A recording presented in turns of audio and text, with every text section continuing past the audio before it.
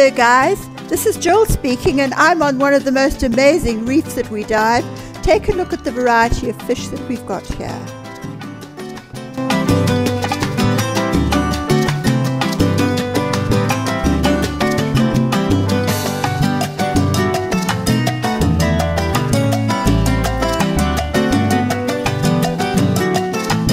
Well, I was busy filming all this when suddenly all the divers disappeared and there he was, waiting to be photographed.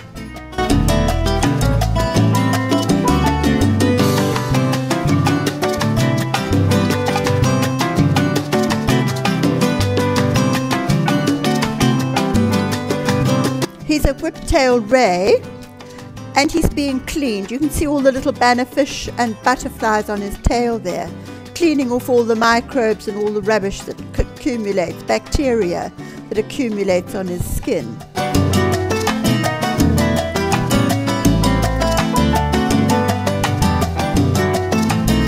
I'll pull you in for a closer look.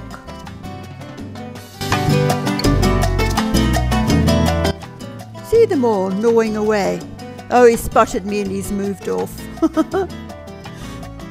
Didn't like that.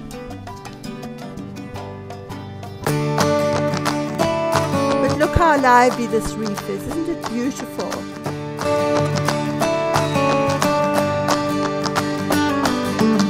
Scorpion fish. It's a bit wobbly because I can't put the GoPro down to stabilize it without getting too close to him.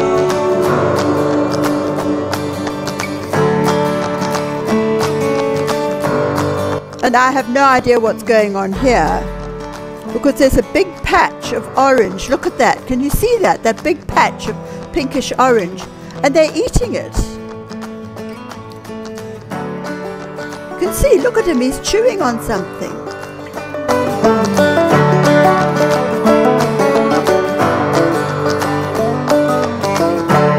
A pair of clowns with a baby and a crab but they're eating something.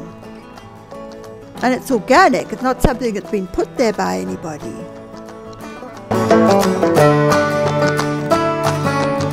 I wonder if something's laid eggs there and they're eating the eggs. Look at that.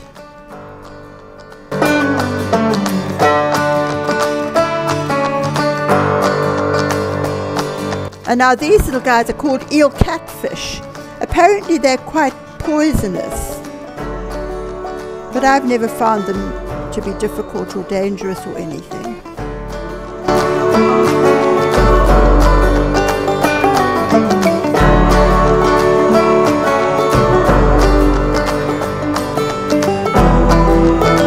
The rumour is that there are over 11 species of moray on this reef. Very rare. Look at that. It's full of them.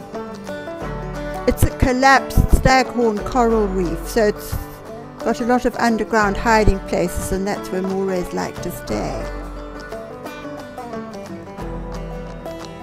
But it's full of new fish.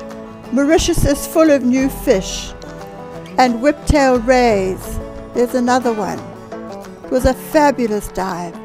Thanks for joining me. See you next time. Bye.